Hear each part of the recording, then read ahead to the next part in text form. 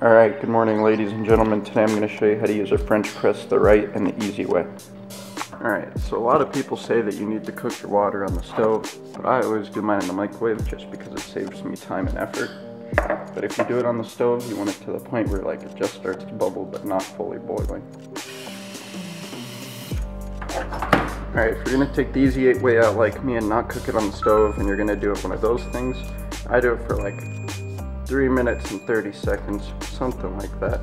Usually gets gets it right to where you want it. The next and most important step is seeing the, how ground up your coffee is. You want it like a solid medium.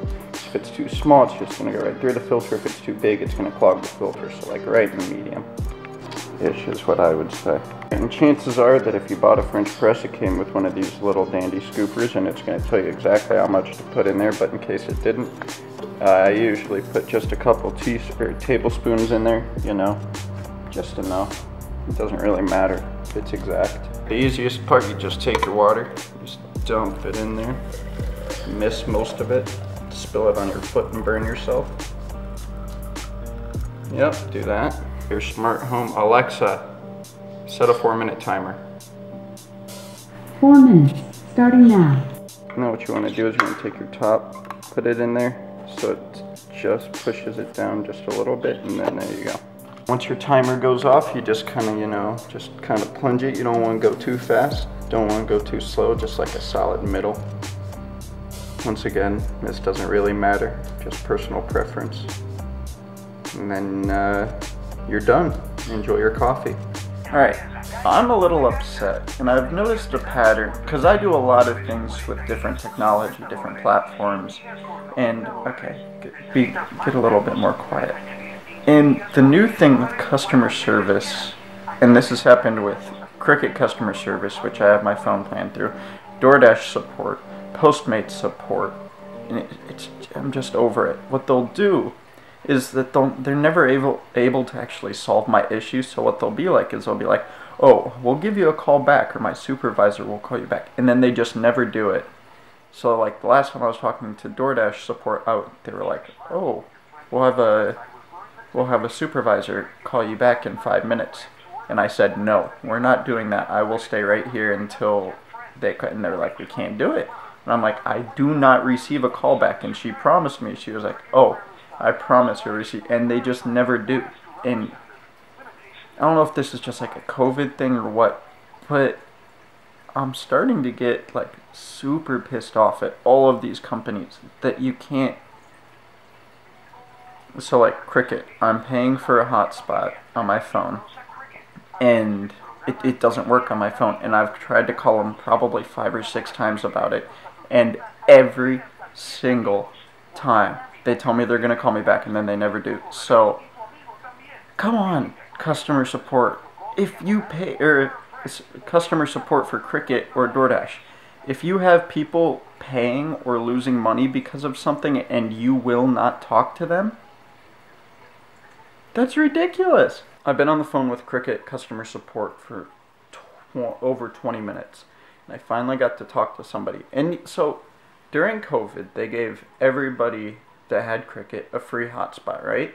And my phone worked with it. Now I have an unlocked Google Pixel. It's not through Cricket. It's my own phone that's unlocked, meaning I can use it with pretty much any company. And during COVID, they gave everybody that has Cricket a free hotspot. That ended, so we ended up just buying a hotspot.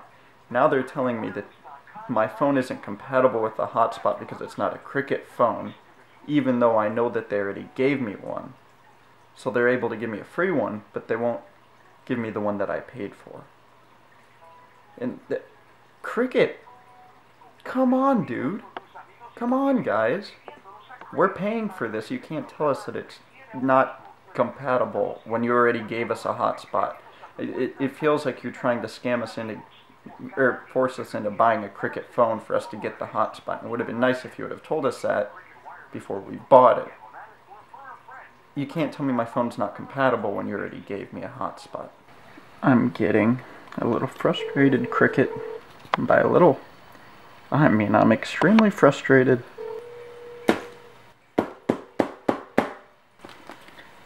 Dalai Lama's Big Book of Happiness isn't uh, helping me out very much now. Oh, five, four, three, two, one. Happy New Year.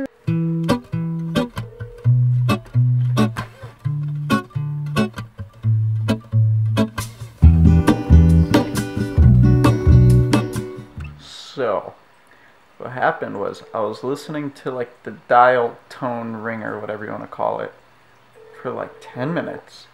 And then the first lady I talked to said, Thanks for waiting on the line. And then it just went right back to this. I've been on the phone with these people for 40 minutes. Cricket.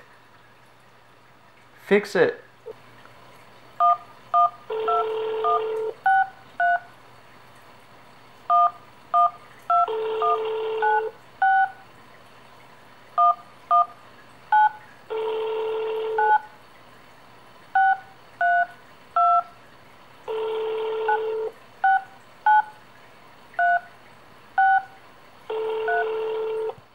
Happy birthday.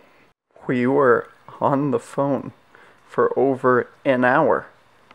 And then she just hung up on me. This is insane. This is brutal. Is all